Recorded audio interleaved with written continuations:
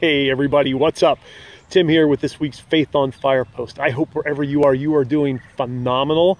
You're watching God show up and do awesome things in your life. So, the title for today's shoot is Pray with Power.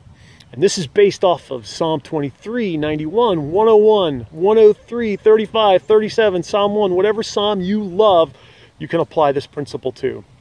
So, how do you pray with power? How do we pray where we get better results and we see God show up in our lives in a greater and greater way? Now, I love prayer. I think it's about intimacy and about communication, and all those things are important. But when I pray, I also want results. And when I made this one simple adjustment, this one simple change, I found that the results to my prayers increased significantly. And I started to pray in greater to greater degrees of power. Now, I don't have this perfected, I don't have this mastered, but it made a huge difference and it laid, led me into a position of feeling like not only was God hearing me, but He was going to answer and that things were going to change. So if you want to pray in power, I challenge you to practice what I'm going to teach in the next couple minutes. So simply to pray in power, all you do is you take God's word and you start to pray it over yourself and over the situation.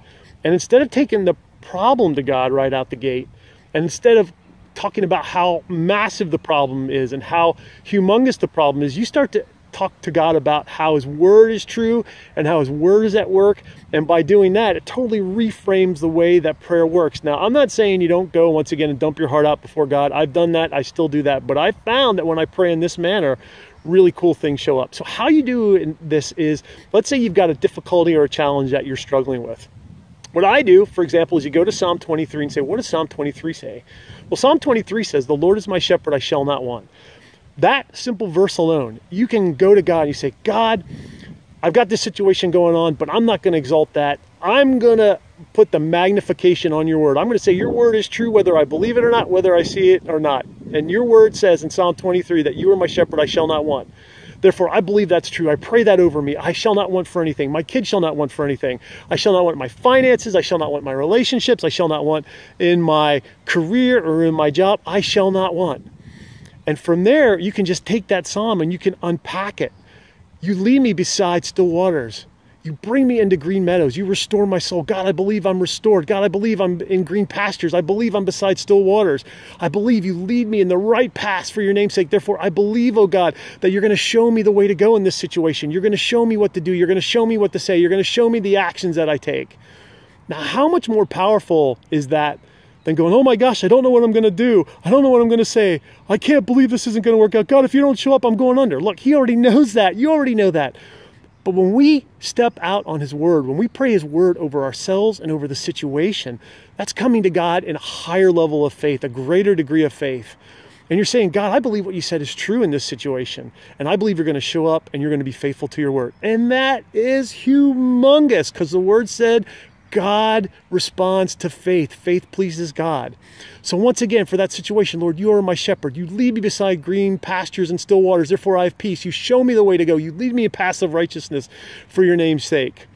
Even if I walk through the valley of the shadow of death, even if I walk through the valley of destruction, I'm not afraid, God. My cup runs over. You prepare a table before me in the presence of my enemies. Therefore, I believe no matter what the situation is, I'm going to be blessed. I believe I'm going to have more than enough because my cup runs over. Your goodness and mercy follow me every day. Therefore, I'm going to see your goodness and mercy. Therefore, no matter how bad the day looks, you're going to change it. You're going to show up and you're going to make something awesome of what wasn't awesome before. And when you start praying that psalm over your life every day, you just wake up and you pray it God, you are my shepherd. I shall not want. You lead me uh, beside still waters. You restore my soul. My cup runs over. You just start praying that line by line. It only takes five minutes man, you're going to see the results change. You're going to see God show up in such a dynamic way. And you can do that for Psalm 91 for protection. You can do that for Psalm 1 if you're looking to succeed or prosper in a certain area. You can do that with Psalm 34, 35, 37, Psalm 101, 103. All of those are awesome Psalms.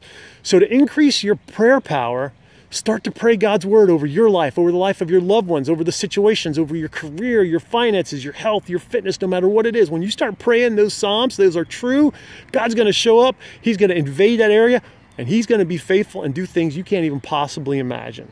So, and the way to pray with power is to pray God's word over the situation day after day after day. And it only takes five to 10 minutes. But when you do it, He is going to show up and He's going to show up big time. So this is Tim with this week's Faith on Fire. Hope you found that helpful. Have an awesome day to pray with power, pray His word over your situation, and He will be faithful to it. Have a great day. I'll talk to you soon.